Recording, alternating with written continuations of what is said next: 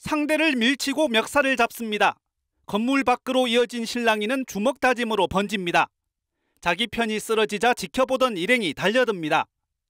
발길질을 당한 남성은 정신을 잃은 듯 반응이 없습니다. 경찰이 신고를 받고 출동했는데 상황만 살필 뿐 특별히 제지는 안 합니다. 그리고 날이 밝았습니다. 이번에는 더 많은 사람들이 몰려들어 쉴 새 없이 서로 주먹을 휘두릅니다. 난투극은 이 일대에서 2시간 사이 세 차례나 벌어졌습니다. 식당가 주민과 행인들은 공포감을 느끼며 가슴을 졸일 수밖에 없었습니다. 이리저리 옮겨다니며 벌인 패싸움에 식당 한 곳의 유리문은 박살이 났습니다. 흉기를 든 사람도 있었습니다.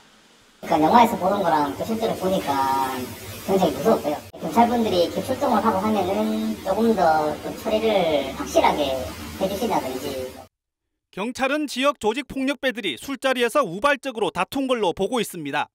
초동 대처가 부실했다는 지적에 대해서는 여러 차례 출동해 현장을 살폈다는 입장입니다.